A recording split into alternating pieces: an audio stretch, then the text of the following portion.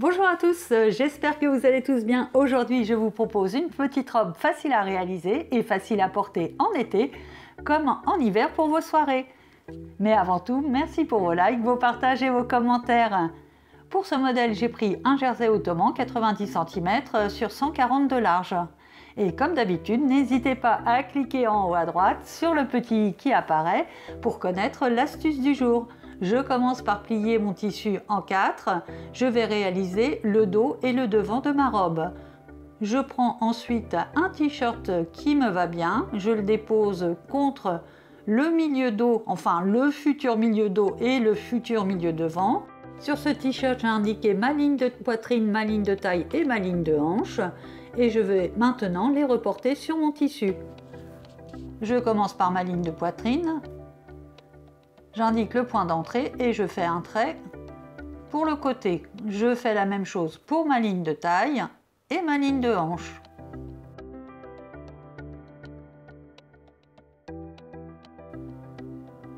J'indique maintenant le haut de mon encolure. Avec mon équerre, je fais une perpendiculaire au milieu, devant ou dos, et je fais un point à 8 cm. Je monte mon encolure de 2 cm et je réalise l'arrondi. Et hop, il est fait. J'indique maintenant ma ligne d'épaule et je l'arrête par contre à 7 cm puisqu'il s'agit d'emmanchure américaine.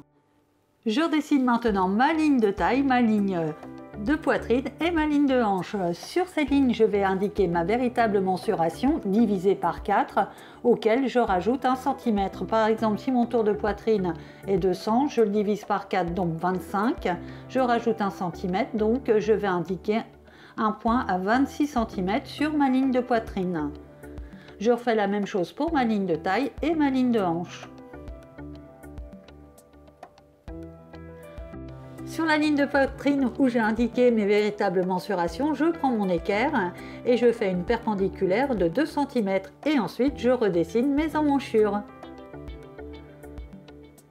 Je poursuis ensuite ce trait jusqu'à ma ligne de taille et généralement on a une différence entre le tour de poitrine et le tour de taille.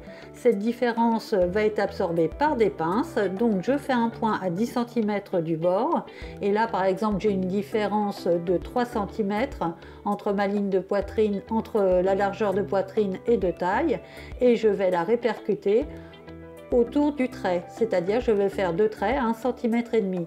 Ensuite, je vais monter mes pinces de 10 cm vers le haut je fais un point, je redessine le trait pour la pince du bas et je fais un point à 6 cm.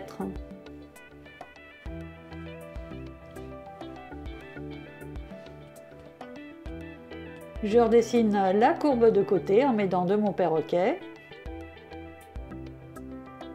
Et hop, je le tourne pour la taille.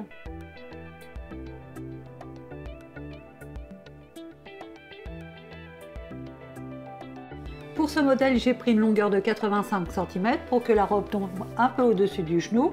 Donc euh, je fais une perpendiculaire au milieu devant, je trace la ligne, je finis par la ligne de côté et devinez, je passe à la coupe. Mes deux dos maintenant sont coupés. Avant d'utiliser une partie pour faire le devant, je redessine les pinces en mettant d'épingles sur toutes les parties devant et dos. Ainsi j'aurai la même hauteur pour toutes les pinces ainsi que la même profondeur.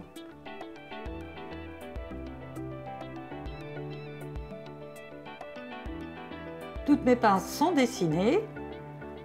Je prends maintenant une partie pour refaire le devant. Je la plie bien sur le milieu devant à 8 cm au niveau de l'encolure, je fais un aplat de 2 cm, je redessine mon encolure, je la coupe. Je fais une ouverture de 12 cm maintenant que j'ouvre.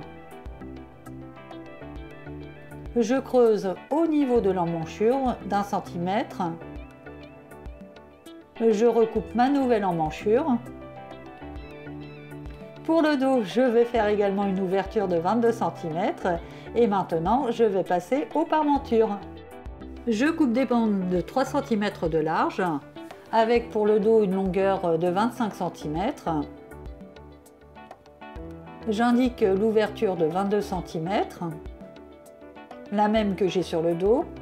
Je fais un point et j'ouvre. Je refais la même chose pour le devant avec une longueur différente bien sûr et maintenant je vais passer au col. Je plie mon tissu en deux dans le sens de la largeur et ensuite encore une fois en deux dans le sens de la longueur. Je vais faire une bande de 8 cm de large.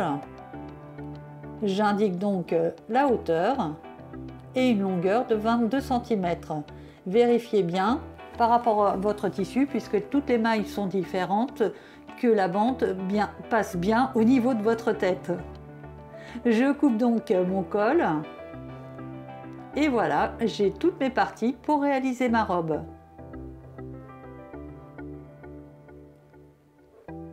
Je commence par épingler mes pinces.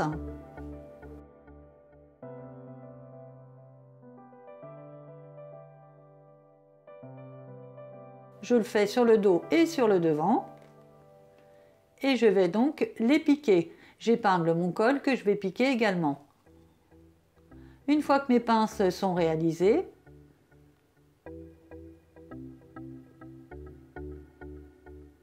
sur l'endroit, endroit contre endroit, je vais poser mes parmentures dos et devant. Je les épingle dans un premier temps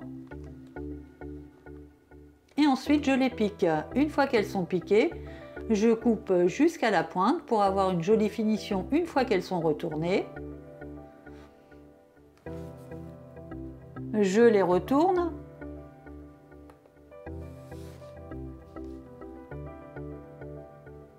Et je vais assembler au niveau de la piqûre sur 2 cm. C'est une astuce pour éviter de voir la couture du col. Je le fais sur le devant, sur le dos.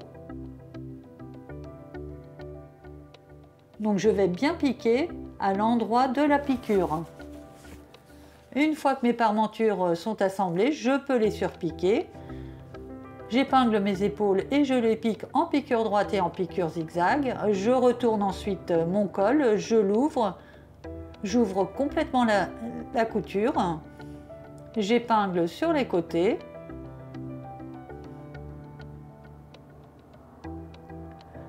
Je le pique uniquement en piqueur zigzag. Ensuite, j'épingle mes côtés que j'assemble en piqueur zigzag.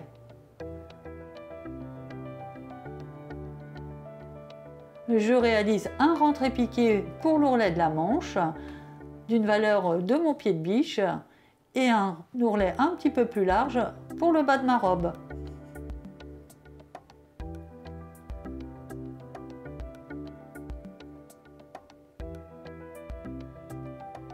Voilà le rentré piqué pour l'emmanchure. Et voilà, ma nouvelle petite robe est prête. Si vous avez aimé ce tuto, n'hésitez pas à vous abonner, à partager, à liker. Je vous dis à très très vite